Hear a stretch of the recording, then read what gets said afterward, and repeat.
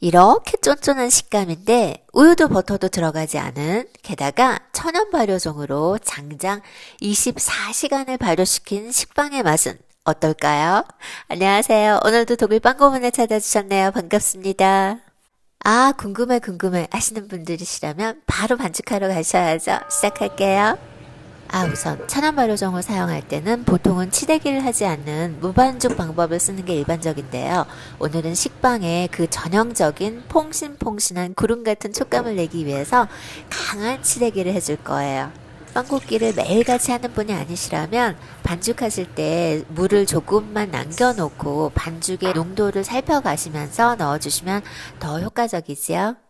식빵 같은 촘촘한 재질의 빵을 구울 때는요, 천연 발효종을 사용하면서도 이스트를 살짝 넣어주는데요. 생이스트를 2g만. 만약에 드라이 이스트를 사용하신다면 한 꼬집 정도면 적당해요. 통밀탕종은 전날 미리 간편하게 만들어 놓으셔도 좋고요. 아니면 서너 시간 전에 하셔서 식혀서 냉장고에서 살짝 보관하셔도 괜찮아요. 자, 모든 재료를 한데 넣고 강하게 15분 정도 치대기를 해주시면 적당한데요.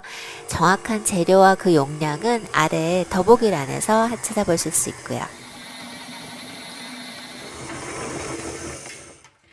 반죽이 끝나면 window 테스트를 통해서 반죽의 상태를 확인해 주신 다음에 뚜껑을 덮은 채로 실온에서 놓아두세요. 저는 그 사이에 장도 보고 산책도 다녀오고 4시간이 지난 상황이거든요. 보시면 빵빵하게 이럴 때쯤에서 한번 접어주세요. 이렇게 늘릴 때 보이는 실 같은 조직들 참 착하고 예쁘죠? 이렇게 몇 번만 접어준 다음에 두셨다가 중간중간에 한두 번 더 접어주기를 하셔도 도움이 되고요. So, 지금이 9시간이 지난 상황이거든요.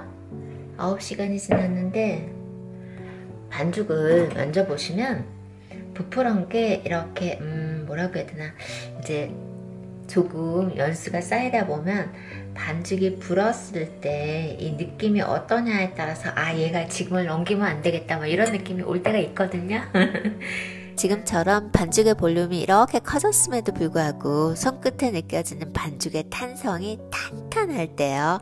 이럴 때 성형하는 게 가장 좋은 것 같아요.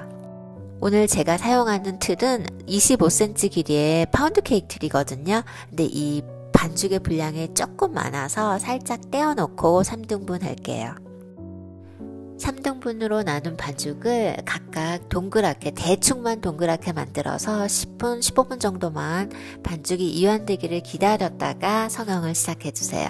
근데 식빵 성형은 너무나 간단한 거라서 간단하게 빠르게 넘어갈게요.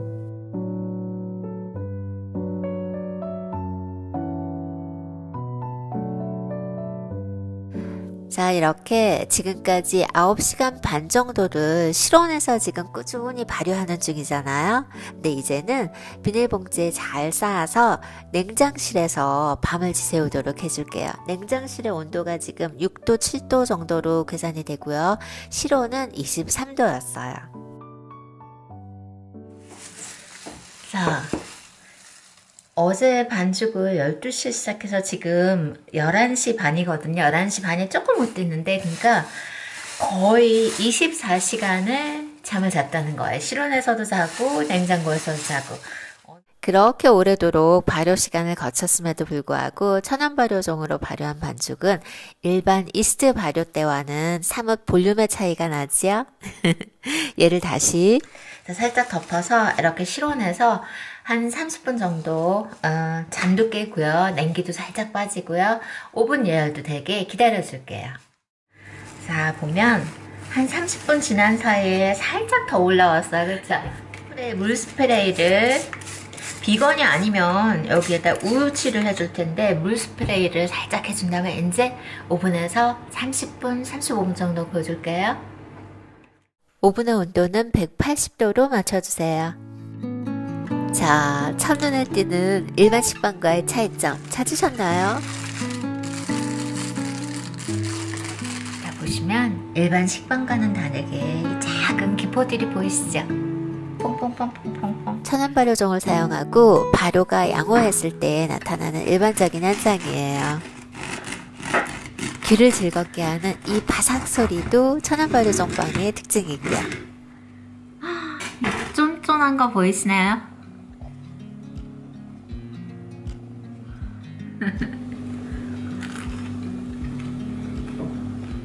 맛은요 일반 우유식빵이 갖는 그 퐁신퐁신한 구름 같은 질감을 가졌음에도 불구하고 담백해요. 정말 담백해요. 그리고 천연발효종을 사용해서 오래오래도록 발효를 시킨 그 효과가요 드시고 났을 때 소화감이 정말 좋아요.